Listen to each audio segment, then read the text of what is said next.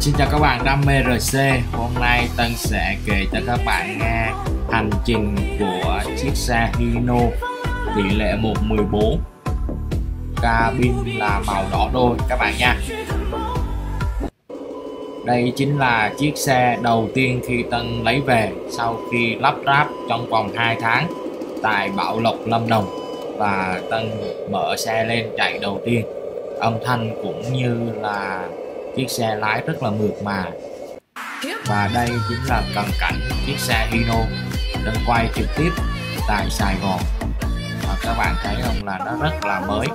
Đây là Tân quay ở trên à, sân thượng của Sài Gòn.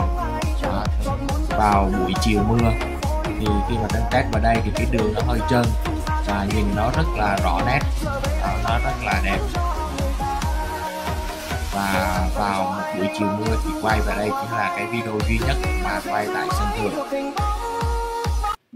Còn đây chính là lúc Tân quay ở trong nhà bắt đầu Tân uh, chất bắp lên để Tân uh, chở uh, Tân chở bắp. Thì những cái bao bắp bao lúa này Tân đóng lại.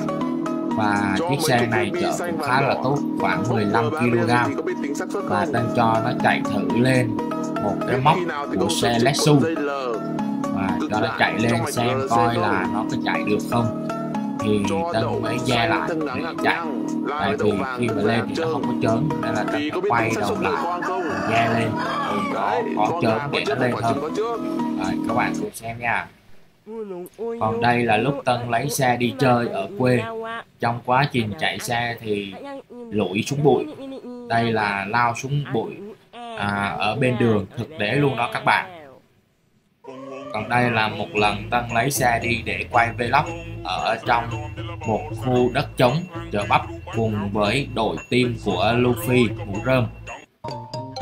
À, bây giờ Tân đang dè xe lại để chất bắp lên. Team của Luffy là bây giờ chuyển thành team bốc bắp rồi các bạn. Có những bao bắp có những cái uh, cầu để bắt bắp lên. Luffy mũ rơm đó các bạn. Bạn nào team Luffy mũ rơm thì tương tác nha và đây là một lần Tân lấy xe đi quay. Và khi mà quay thì nó bị hư cái bánh trước. Các bạn thấy cái bánh trước nó bị hư nè Tân sách ra đây. Đó mình thấy cái bánh trước nó lột ra luôn. Nó giống như là bị nổ vỏ đó các bạn. Còn đây là một lần khi Tân đang chạy thì lao xuống dưới nước thì nó bị chết máy.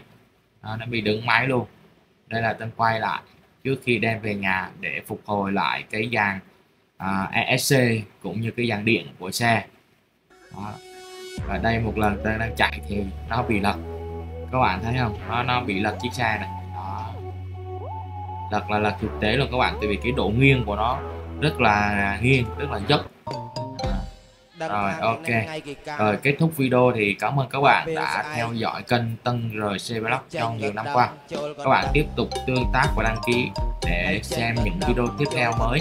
Mà Tân sẽ mua những dòng xe mới và cập nhật cho các bạn xem nha. cảm ơn các bạn rất là nhiều.